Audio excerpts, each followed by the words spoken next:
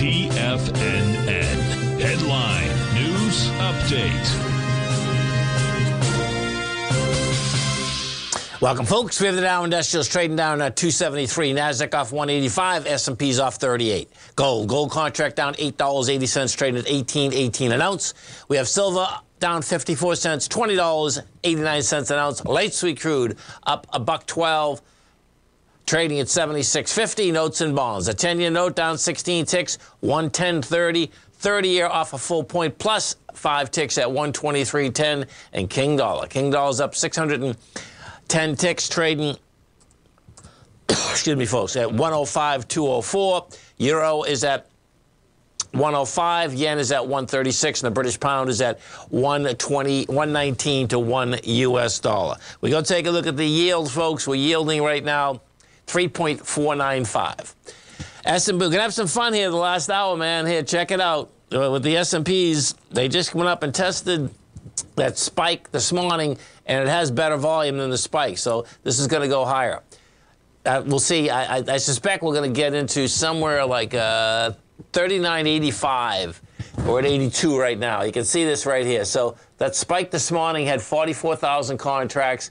We just did 41. Yeah, see, it's pretty cool. So I suspect it's going to go right into this. They actually can get into this, what, 38, 3986. So we're almost there. NQs. We take a look at the NQs. What do you have in the NQs? NQs here. Let's take a look. Oh, see, this is lagging too. Interesting. See, the NQs haven't even made it yet. The NQs, the spike on the NQs, we're here right now. The NQs, 12,018, and that had uh, 15,000 contracts. We went into it with 13. Yeah, Oh, this is interesting. So it's the NQs. If you're going to fire away, well, let me see the bottom. The, the bottom line, I expect both of them are going to basically give it up. You're doing the counter trend bounce right now. You get up, get, you're getting up. I suspect we're going to be flipping right around at the same time. So it's going to be pretty cool close out here. We take a look at the gold contract. Gold's in a confirmed ABC structure down.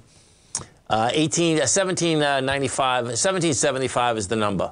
Um, you know, and it's going to be slow bleed, man. That's the bottom line. That's what we have happening out here, and it's all about that good old U.S. dollar. The dollar is getting closer and closer to the 0.382. And, you know, what you have out here, you have wide price spread today. So you get the wide price spread going. I suspect you're going to go, you know, 106, 500, 107, 222. Stay right there, folks. Coming right back. Recap Dow down uh, 256, NASDAQ off 181, S&P's off 36. We'll come right back.